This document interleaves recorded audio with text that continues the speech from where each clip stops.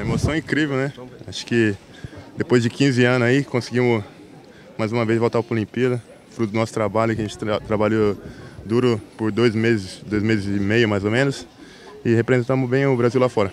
Não, a gente acreditou desde o primeiro treino, a gente trabalhou duro para isso e acreditou, então que não veio nada por acaso, nem é, vem, nada de graça. Então a gente trabalhou e a gente conseguiu essa vaga. É? Então sempre bem-vindo, o Brasil tem que ter os melhores atletas, é coisa de CBB, sentar com eles e conversar.